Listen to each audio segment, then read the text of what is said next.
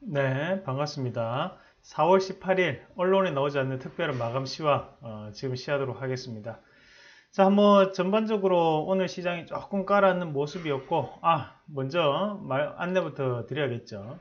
자, 영상을 끝까지 보시고 마음에 드시는 분들 구독하기 꼭 하시고요. 어, 좋아요도 많이 눌러주십시오. 그리고 네이버나 유튜브에서 이상로 또는 이상로의 새빨간 투자를 검색하시면 저를 찾으실 수 있습니다. 아, 머니투데이 방송에서 방송을 진행하고 있는데 월요일 화요일은 오전 10시 10분 그럼 매일 오후 12시 30분 그리고 수요일은 밤에도 보실 수 있습니다. 오후 10시에 출연하니까 실시간으로 보시고 싶으신 분들은 그렇게 보시면 되겠고요. 어, 이번 주 토요일은 강연회 있어요. 어, 4월 20일 토요일 오후 1시에 동부증권 어, 인천지점 굴포천역 8번 출구로 나오셔서 바로 옆에 있는 데거든요. 참갑이 없습니다. 그리고 전화 안 하시고 그냥 오시면 됩니다. 어, 다만 뭐 문의해서 궁금하신 부분이 있으면 032-508-9268번으로 연락 주시면 되고요. 어, 그냥 오시면 된다고 해도 제가 이렇게 말씀을 드려도 꼭 전화하고 오시는 분들 계시더라고요. 어, 그런 분들은 이 번호로 연락하시면 됩니다. 지점 초청 강연이기 때문에 어, 여기 지정 강연에는 장소가 크지 않습니다. 그래서 좀 더 일찍 오셔서 자리에 앉으셔서 어, 기다리시면 좋은 강의 듣고 가시길 바라겠습니다. 다음에는 좀 더 이렇게 큰 규모도 어, 진행을 할 예정이니까요. 어, 일단 이번 달은 어, 지정 강연회라는 걸 다시 한 번 더 말씀을 드리도록 하겠습니다. 자, 가입 문의는 010-2638-0390번으로 어, 문의 주시면 되겠고요. 어, 오늘 전체적인 상황판 한번 어, 같이 보도록 하겠습니다. 자, 어, 일단은 뭐 중국 증시 자체가 오늘 지금 현재 빠지고 있는 양상이고 아직까지 끝난 건 아니에요. 니케이가 0.8% 오늘 하락 마감했고 환율이 오늘 1137원 어, 기록을 했습니다. 음, 환율 같은 경우에는 우리가 조금 눈여겨 보셔야 되는 게 뭐라고 했어요? 제가 1130원 위로는 어, 환율이 워낙 약세 기조다. 음. 자, 이 부분 자체가 유지가 된다는 얘기거든요. 그리고 오늘 코스피가 1.4%, 코스닥이 1.7%가 빠졌는데, 모처럼 만에 1% 이상 크게, 큰, 큰 폭의 어, 하락세가 좀 나타났어요. 음, 뭐, 빠졌는데 기분 좋은 사람은 어딨겠어요. 그죠? 하지만 뭐, 이런 부분 자체가 우리가 항상 시장이 크게 빠지면 또 크게 올라갈 수 있거든요. 그런 부분에 대해서 내일 시장에서 반등이 좀 나타나지 않을까 먼저 말씀을 드리겠고, 오늘 어, 자잘한 이벤트들이 많았습니다. 그 부분을 한 개 한 개씩 좀 찍고 아, 죄송합니다. 넘어가야 될 것 같은데 아, 제가 봄에 항상 이 알레르기가 좀 있어가지고 항상 조금 목에 계속 걸려요. 자, 이 첫 번째로 먼저 금리 동결을 조금 보셔야 될 것 같아요. 일단 한국은행이 기존금리를 동결했고 어, 그에 따라서 어떤 영향을 우리 국내 증시를 받을 수 있을까? 자, 환율과 어, 그리고 금리의 관계를 좀 아셔야 됩니다. 그리고 통화량, 이세 가지의 관계를 좀 아셔야 되는데, 우선 통화량이라고 하는 것은 이제 양적 완화, 양적 축소가 되겠죠. 그럼 양적 완화, 그러니까 말 그대로 돈을 찍어낸다. 통화량이 늘어난다. 어? 통화량이 늘어나면 환율은 어떻게 돼요? 환율은 약세가 되죠. 약세. 원화의 입장에서예요. 그러면 우리나라가 만약에 돈을 찍어낸다. 통화량을 늘린다. 그러면 환율은 약세가 됩니다. 왜냐? 시중에 돈이 많이 풀렸기 때문에 약세가 진행되는 거예요. 그러면 금리가 내려간다. 그러면 통화량에 대한 가치가 내려가는 거죠. 그럼 환율은 어떻게 될까요? 환율은 어, 아니 금리가 내려가면 통화량에 대한 가치 자체는 올라가는 거죠. 그러면 환율도 마찬가지로 여기에서 약세 기조가 되는 거예요. 금리가 내려가는 거하고 통화량이 늘어나는 거하고 이것은 환율이 약세가 되는 거고요. 어, 금리가 올라가거나 통화량이 내려가거나 이러면 환율이 강세가 되는 겁니다. 자, 이 부분이 너무 중요해요. 왜냐? 자, 결국에는 제가 금리를 우리나라는 인하를 할 수 있을까? 없다고 했죠. 우리는 인하를 못 합니다. 음. 그러니까 미국은 지금 인상을 할 수 있을까? 힘들어요. 그러면 이 금리는 계속적으로 방향성을 가지고 움직인다는 거예요. 그런 방향성을 가지고 움직이는데 지금 현재 원화가 약세 기조입니다. 그 말은 뭐냐? 결국 외환이 빠- 많이 조금 빠져나갔기 때문에 약세 기조가 지금 유지가 되고 있다는 거거든요. 그러면 이 약세 기조가 다시 강세 기조로 바뀌기, 바뀔 수 있을까? 그러면 두 가지가 존재를 해야 되는데요.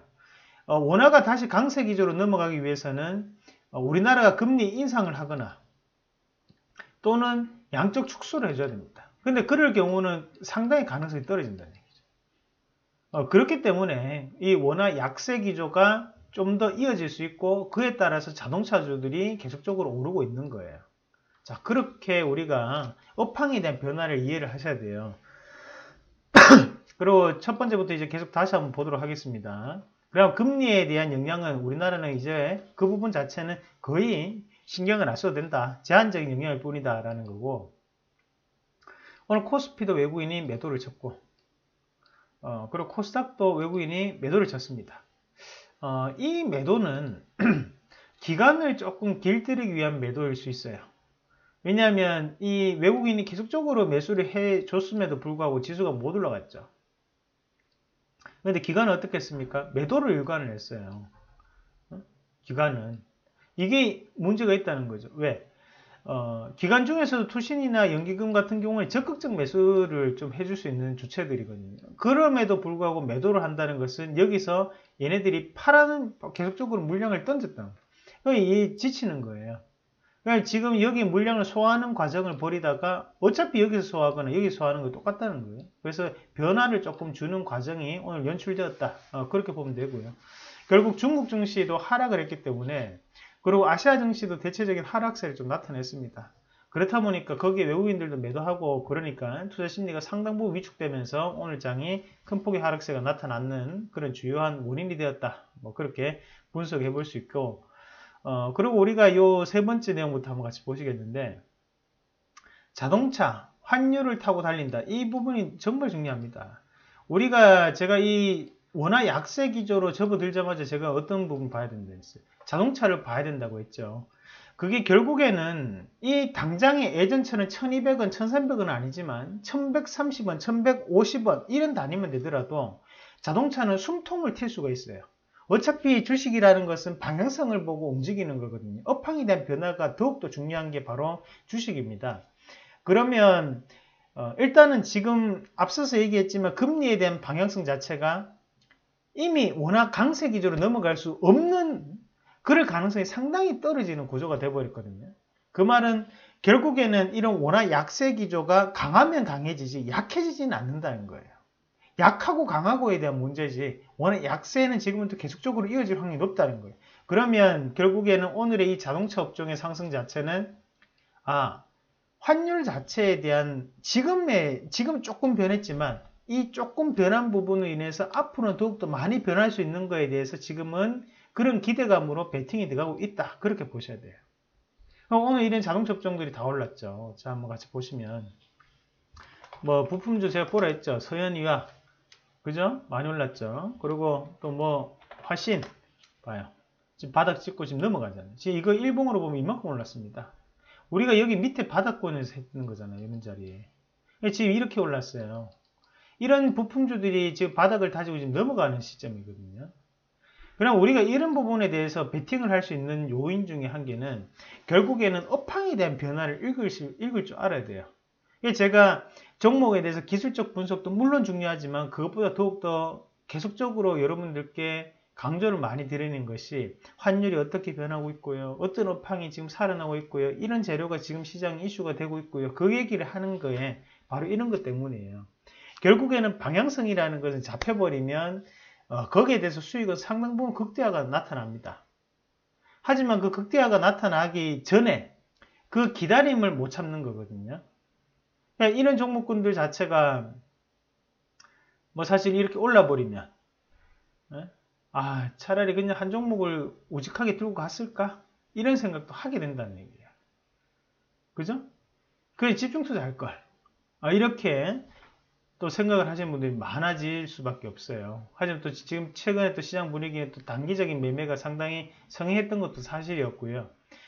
일단은 이 말씀을 드리는 거는 여러분들이 뭔가 한 개에 대한 투자 스타일을 명확하게 정하실 필요가 있습니다. 우리 개인 투자자분들이 가장 많이 하는 실수 중 한 개, 어, 단기를 하다가 물리면 나도 모르게 장기가 되는 어, 그런 경우가 상당히 많습니다. 그런 종목군 같은 경우에 단기로 접근했는 종목이기 때문에 상당 부분 고가 권역이에요. 음. 그러니까 여기서는 장기로 포지션이 변경되더라도 주가는 계속적으로 빠지죠. 자, 제가 이렇게 하면 안 된다 했죠. 자, 차트가 이렇게 그림이 있어요. 기본적으로. 그럼 단기 공략은 무조건 여기서 해야 되는 거예요. 네. 변동폭이 큰 자리. 어, 오늘 당장에 수익이 날 수 있는 자리. 내일 또다시 변동폭이 크게 나타날 수 있는 자리. 손절은 필수. 음. 이렇게 돼줘야 되는 거고요. 만약에 장기를 한다. 장기는 이전 이런 자리에서 해줘야 됩니다. 네. 손절은 최소로. 음. 대신 어, 오늘 당장 수익 날 필요 없다. 어. 대신 꾸준하게 올라가 추세적인 매매가 가능한 자리. 이게 먼저 구분을 해줘야 돼요. 근데 우리가 항상 개인 투자자들이 실수를 게 단기를 여기서 사가지고 물려버리니까 아 이러다가 올라가겠지. 이 종목 괜찮은 종목이야. 시음 실적도 좋고 외국인들 들어오고 있고 기관 들어오고 있고 좋으니까. 이 종목 때문에 빠지기 시작합니다. 30% 40% 50% 빠지기 시작해요. 그러니까 그때 이 기업이 여기서는 실적이 좋았지만 갈수록 실적이 나빠지기 시작해요. 이렇게 몰릴 때가 정말 많거든요. 이것은 단기로 접근한 종목은 무조건 단기로 끝을 내야 돼요. 음. 장기로 접근한 종목은 장기로 끝을 내줘야 됩니다. 장기로 접근한 종목은 조금 올라서 단기로 팔고 나가도 돼요. 어차피 대신에 수익은 본인 거니까 수익을 적게 보는 거죠. 대신에 단기 포지션을 접근한 거는 무조건 단기로 끊어줘야 돼요. 그래야지만 계좌가 리스크가 관리가 가능하고 꾸준한 수익이 발생할 수 있는데 어, 우리가 이 포지션 자체를 명확하게 정하지 않고 진행을 하기 때문에 항상 문제가 발생하는 거거든요. 그래서 이 내용은 정말 중요한 거기 때문에 내가 지금 단기 성향이 강한지 아니면 장기 성향이 강한지도 먼저 여러분들이 꼭 분류를 하고 판단을 하시고 난 다음에 주식을 하시는 게 맞아요. 그래서 어, 이렇게 단기와 장기를 명확하게 구분을 해놓고 난 다음에 어, 종목을 바라볼 필요가 있다. 그래서 제가 안신 앵커도 예전에 한번 크게 혼냈던 것 중에 한 개가 네이브라는 종목이 있었는데 이 종목을 가지고 고가 권역에서 어, 나는 이걸 자기 자식한테 물려준대. 근데 안신혜가 자식이 없어 아직. 애도 없어. 근데 자식한테 물려줄 거라고 하면서 18만 원에 샀어요. 이거를 여기서 고가 권역에 이렇게 사면서 이거를 10년 뒤를 보면서 여기 이 자리에 사는 거예요. 이거는 상당히 이건 뭔가 어리석은 거죠. 이걸 10년 동안 볼 것 같으면 여기서 사면 안 되죠. 차라리 주가봐야 지금 이런 자리에서 한 번쯤 한번 들어가 볼까 이런 생각을 하길 수 있는 거예요. 예를 들면 왜 지금 또 안 사죠? 이런 분들이 그것은 이미 어, 수익이 날 수 없는 매매를 하고 있는 거예요. 그러니까 그런 거를 명확하게 조금은 구분할 줄 알아야 된다. 이 말씀을 드리도록 하겠고 자 계속 이어서 보겠습니다. 옆으로 좀 셌습니다. 그만큼 이런 자동차 업종에 대해서는 계속적인 관심을 가질 필요가 있어요. 이 종목군들이 아직까지도 저는 추세적 상승이 가능하다고 봅니다. 자, 그 다음에 어, 그럼 지금부터 이 자동차 업종을 들어가는 건 뭐예요? 이제 단기 파동을 보고 들어가는 거예요. 어, 장기를 생각해서 지금 자리에서 산다. 그것도 바본 거야. 이미 지금 저가권역 추천했던 데보다 지금 30분, 40분 올랐는데 지금 자리에서 장기를 보고 산다? 남들보다 40분 손해를 보고 산다. 이 말을 하는 거예요. 잘못됐다는 거죠. 자, 두 번째, 돼지 열병. 백신주와 돼지고기 관련주. 제가 어제 밤에 방송을 했던 내용이 뭐였어요? 바로 어, 돼지 열병 관련해서 방송을 했었습니다. 그걸 얘기하면서 뭐라고 했습니까? 돼지고기 가격이 변한 거에 대해서 돼지고기 업체들이 올라갈 수는 있다. 다만 여기에서 한 가지 더 기억을 해야 되는 것은 바로 백신주도 기억을 해줘야 된다. 왜냐하면 예방 차원에서 이 종목군들이 움직일 수 있는데 거기에 따라서 제일바이오나 중앙 백신 이걸 두 가지 정보 언급했는데 어, 상한가는 이글벳이 같습니다. 그래서 이글벳은 못 맞췄어요. 이글벳이 오늘 상한가를 가버렸는데 제일바이오는 아까 전에 뭐 25% 가까이 올라갔다가 지금 빠져버렸고요. 28%까지. 어, 그 중앙 백신은 오히려 지금 아까 장중에 조금 움직이다가 다시 반락을 좀 했습니다. 어, 일단은 이 우리가 돼지 열병이라는 부분 자체를 뭐 하루 이틀 얘기 드린 게 아니고 꾸준히 바닥에서 조금씩 돌고 있다. 돼지고기 관련주 좀 봐야 된다. 심지어 어제 어, 여기 우리 관심주가 뭐였습니까? 팜스코를 또 적어 드렸었죠. 팜스코도 지금 네번 나왔습니다. 자, 이렇게 계속적으로 보면 시장의 흐름 자체가 이쪽으로 바뀌어 간다는 얘기를 말씀을 드리는 거거든요. 결국에는 이런 종목군들이 보면 자, 어떻습니까? 오늘은 뽑아냈지만 그 전까지 행보하는 기간이 상당히 깁니다. 사실. 그럼 우리가 이런 자리에서 진행을 하더라도 이미 한 달 정도는 지금 행보를 해버렸어요. 하지만 업황 자체가 이제 이때부터 바뀌기 시작하는 거거든요. 일단 돼지고기 가격이 6월 달에 어, 피크를 항상 치더라. 그러면 지금 4월 달, 5월 달, 6월 달 계속 좀 올라가고 또 8월 달까지 또다시 한번 올라가는 흐름이 있더라. 근데 거기에서 어, 아프리카 돼지 열병이라는 글로벌적인 돼지에 대한 위험이 지금 나왔기 때문에 어, 당연히 희소 가치는 좀 더 높아질 수밖에 없겠죠 작년보다.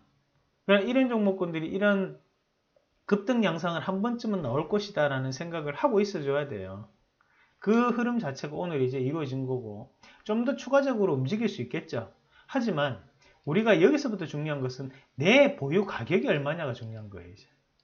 그럼 여기에서 수익을 20% 먹고 팔 것인지 30% 먹고 팔 것인지 그걸 정하는 거지 지금 자리에서 단타를 쳐가지고 들어가지고 30% 먹겠다. 그건 또 무리인 거죠. 왜냐? 지금부터는 비중 조절을 해가면서 단기적인 성향에 맞춰서 대응하는 거거든요. 그러니까 지금은 5% 먹고 나오든가 4% 먹고 나오든지 아니 3% 손절치고 나오든지 그걸 중에 그 결정을 하는 부분입니다. 왜냐하면 지금부터 여기 본격적인 이슈가 시작됐기 때문에 그런 부분 자체를 구분해서 조금 투자를 할 필요가 있다는 말씀을 드리는 거고 뭐 오늘 팜스코도 그렇고요. 팜스토리 뭐 이런 종목군도 오늘 다 뽑아내는 흐름이었죠. 그 이런 것도 저가 마이너스 2% 빠졌다 지금 다시 반등 나왔는 거고 그리고 요 종목 우리손 FNG도 추천해 드렸죠. 요 종목이 오늘도 3240원까지 가면서 자 주봉 보세요. 이 각이 상당히 살았습니다. 이게 주도주라고 보시면 돼요. 주도주. 뭐 오늘 보면 뭐 체리브로 뭐 선진 뭐 이런 기업들 다 올라가는데 이런 기업 다 못 봐요. 아 다 못 보고 앞서 얘기했던 지금 우리 손 FNG 그리고 팜스코 그리고 한 가지는 좀 이따 말씀을 드릴 건데 그 세 가지는 보시면 됩니다. 그래서 이런 기업들 기억을 조금 하시고요. 제가 볼 때는 이런 흐름 자체가 시장이 안 좋았기 때문에 또 상대적으로 이쪽에 수급이 조금 쏠리는 부분이거든요. 이런 흐름이 조금 더 이어질 확률이 높다라는 말씀까지 같이 드리도록 하겠습니다. 그래서 우리가 돼지고기 가격, 그런 돼지고기 관련주만 이렇게 볼 게 아니고 이거를 같이 생각을 해줄 필요가 있어요. 이거는 사실 주식 센스거든요. 이 정도는 우리가 어, 주식을 보면서 아, 그럼 돼지 열병이면 백신 주고 올라가겠다라는 생각이 자연스럽게 들 수 있는 통찰적인 부분 자체가 통찰력이 여러분들 형성되어 있어줘야 됩니다. 어, 그래서 그런 부분 자체 기억을 하시기를 바라겠습니다. 자, 그리고 마지막으로 자율주행차 하루 이슈로 끝 이거였는데 오늘 자율주행차 관련주들이 많이 올랐어요. 오늘 QSI 어, 이런 종목군들이 오늘 장중에 여기 상가 근처까지 갔어요. 그래서 오늘 26%가 올랐고 어, 이런 것들도 사실 예전에 QSI가 자율주행으로 상당히 유명했죠. 그리고 어, 또 업체가 에이테크 솔루션 자 이것도 장중에 오늘 10% 올랐습니다. 그러니까 이렇게 이제 들썩들썩 거렸는데 거기에 대한 이유를 한번 같이 보자고요. 자, 이유가 자율주행 핵심을 또 라이다, 삼성 애플의 기술 어, 거기에 따라 가지고 공급 업체를 탐색하고 있다는 소식이었습니다. 그리고 더미동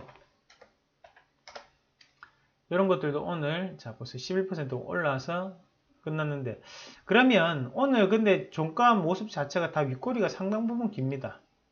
그러니까 여기에서 이게 하루 만에 이런 이슈가 끝날 것이냐? 저는 그건 또 아닌 것 같아요. 어, 이런 자율주행이라는 이슈가 왜 이루어졌는지를 먼저 판단하실 필요가 있어요. 자, 자율주행을 하기 위한 전제 조건이 제가 뭐라고 했습니까? 자율주행이 되기 위해서 전제 조건이 뭐예요? 바로 5G가 활성화되어줘야 됩니다. 시장은 자연스럽게 5G라는 서비스 자체가 지금 개통이 되고 거기에 대해서 문제가 많고 불편함이 느끼는 사람도 많지만 정식 서비스가 시작됐고 실질적으로 일반인들도 가입할 수 있는 것은 사실이에요. 그 말은 뭐냐? 5G가 되었을 때 어, 수혜를 볼 수 있는 종목군들, 수혜를 볼 수 있는 업종군들이 있단 말이에요. 첫 번째 자율주행, 두 번째 공장 자동화. 그쵸? 뭐라고 했습니까? 컨테이, 컨테이, 컨테이어 벨트가 이렇게 있으면 물건이 이렇게 지나갑니다. 그러니까 여기서 카메라를 이렇게 이렇게 달아놔요. 360도로. 여기 지나가면서 카메라가 타차착 찍는 거예요. 그럼 그 순간적으로 불량률을 체크하는 거죠. 어, 오케이, 오케이, 응? 오케이, 오케이. 이러면 이게 불량률이 없죠. 근데 이 어떻게 딱 보다가 한 개가 어, 딱, 나, 딱 떠요. 곧자. 응? 그럼 요거를 신속하게 이렇게 5G니까 신속하게 정보 전달이 된단 말이에요. 그러니까 이런 거를 찾아낼 수 있는 거. 사람의 눈보다 더욱더 빠르게 찾아낼 수 있다는 겁니다. 그러니까 이런 걸 하는 것이 바로 공장 자동화거든요. 그 세 번째 뭐예요? 인공지능이잖아요. 인공지능이 뭐예요? 이게 로봇과 음. 그런 지금의 이 자율주행 이슈가 나타난 것도 결국 5G 서비스가 나타났기 때문에 자연스럽게 이게 이슈가 될 수밖에 없다는 얘기.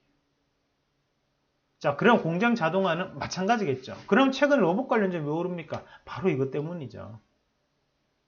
5G 서비스 시작됐으니까 로봇 관련주가 오르는 거예요. 자, 이렇게 연관, 산업을 연관지어서 업황이 어떻게 변하는지를 먼저 길을 아셔야 됩니다. 그 길을 통해서 종목군들이 그 옆에 곁다리로 붙어 있던 아이들이 같이 오르는 거거든요. 근데 우리는 이걸 종목부터 버텀업으로 종목을 계속적으로 보다 보니까 이 시장이 어떻게 흘러가는지를 여러분들이 몰라요. 중요한 것은 시장이 어떻게 흘러가는지 알아야지만 안에 종목이 여기가 수혜가 될 수 있고 이 종목이 좀 더 뭔가가 혜택을 볼 수 있고 여기가 benefit이 발생할 수 있고 이런 것들이 정리를 할 수 있다는 거예요. 그 부분 자체를 조금은 어, 이렇게 시선을 크게 놓고 어, 시장을 좀 바라볼 필요가 있습니다. 그래서 top-down 방식으로 어, 거시적인 부분 자체를 이해하고 거기 안에서 어떤 종목군들, 어떤 종목군들이 benefit이 돌아가 더욱더 많이 돌아갈 것인가를 생각할 수 있는 여건적인 분위기가 형성돼줘야 된다. 어, 이렇게 말씀을 드리도록 하겠습니다. 자, 그러면 내일장에서 관심 있게 지켜봐야 될 종목군도 준비해봤는데, 자, 우선 봐야 될 대한육팜. 어, 일단은 대한육팜 이런 종목군들이 좀 아직까지 좀 덜어놓은 것 같아요. 어, 실질적으로 실적도 괜찮아요. 괜찮고 동물용 백신, 뭐 인체용 백신 다 합니다. 이 기업. 근데 낙폭이 또 상당히 컸고 지금의 이 흐름을 본다면 어, 실전 매매를 통해서 충분히 추가적인 상승도 가능하다. 어, 저는 그렇게 보는 시각입니다. 그 첫 번째 대한육팜, 그두 번째 한원 시스템. 요걸 저는 일전에도 한번 말씀드렸을 거예요.